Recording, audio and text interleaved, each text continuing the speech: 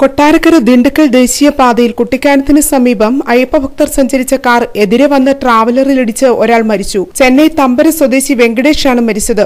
ശബരിമലയിൽ ദർശനം കഴിഞ്ഞു മടങ്ങവേ ഇന്ന് രാവിലെ പത്തിന് കുട്ടിക്കാനം അയ്യച്ചാടി കോളേജിന് സമീപത്ത് അപകടമുണ്ടാവുകയായിരുന്നു. ദർശനം കഴിഞ്ഞു മടങ്ങിയ ചെന്നൈ സ്വദേശികൾ സഞ്ചരിച്ച കാർ എതിരെ വന്ന ട്രാവലർ വാനിലിടിച്ചാണ് അപകടം. അപകടത്തിൽ കാർ യാത്രികനായ ചെന്നൈ തമ്പര സ്വദേശി വെങ്കടേഷാണ് മരിച്ചത്. കാറിന്റെ ഡ്രൈവർ ഉറങ്ങിപ്പോയതാകാം അപകട കാരണം. കുമ്പളയിൽ നിന്നും ആലപ്പുഴയിലേക്ക് പോകുകയായിരുന്ന ട്രാവലറാണ് വാഹനത്തിലിടിച്ചത്. കാറിൽ നാലു പേരാണ് ഉണ്ടായിരുന്നത്. ബാക്കിയുള്ളവരെ പരിക്കുകളോടെ താലൂക്ക് ആശുപത്രിയിൽ പ്രവേശിപ്പിച്ചു. മരണപ്പെട്ട വെങ്കടേഷിന്റെ മൃതദേഹം പീരുമേട് താലൂക്ക് ആശുപത്രിയിൽ.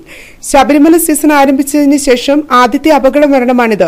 കഴിഞ്ഞയാഴ്ച ശബരിമല തീർത്ഥാടകർ സഞ്ചരിച്ച വാഹനം മുറിഞ്ഞപ്പുഴയ്ക്ക് സമീപത്തെ വളവിൽ മറിഞ്ഞ് അപകടമുണ്ടായിരുന്നു. ഇതിൽ ആറ് അയ്യപ്പ